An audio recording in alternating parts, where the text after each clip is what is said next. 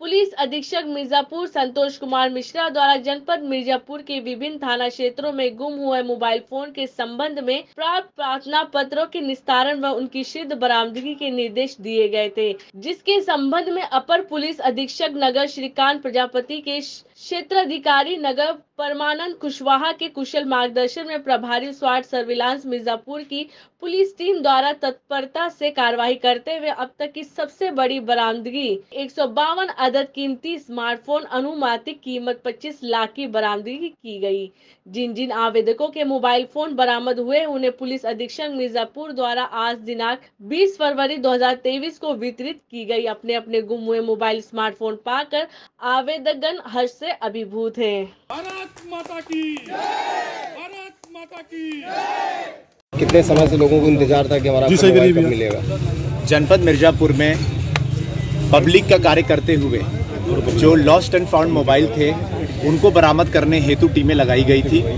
आज 152 152 मोबाइल जिनकी कीमत मोर देन 25 लाख 25 लाख से भी ऊपर वर्थ के 152 मोबाइल ये बरामद करके हमारे मिर्जापुर वासी जितने भी हैं, उनको वापस किए गए हैं। जनपद मिर्जापुर में पब्लिक के चाहे बड़े कार्य हो, चाहे छोटे कार्य हो, चाहे 2000 का मोबाइल हो, चाहे 25000 का मोबाइल हो, सभी पे कार्य करने के लिए लगातार टीमें काम करती रहती है। हमारे S P city CO city के नेतृत्व में हमारे एस ओ जी सर्विलांस स्वाट की टीमों ने अच्छा कार्य करते हुए 152 मोबाइल बरामद करके ये आम जनों तक इसको पहुँचाया है। जनपद मिर्जापुर में लगातार इसी तरीके से पब्लिक के लिए हमारी टीम काम करती रहेगी। सराहनीय कार्य करने वाली हमारी जो टीमें हैं, उनको बीस हज़ार इनाम से पुरस्कृत भी किया जा रहा है।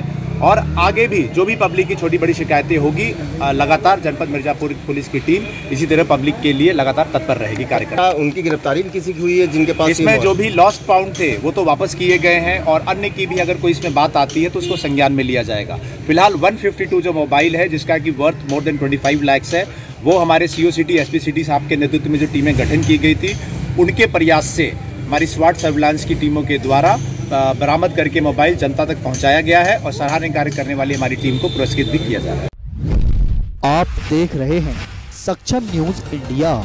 सबसे पहले, सबसे तेज।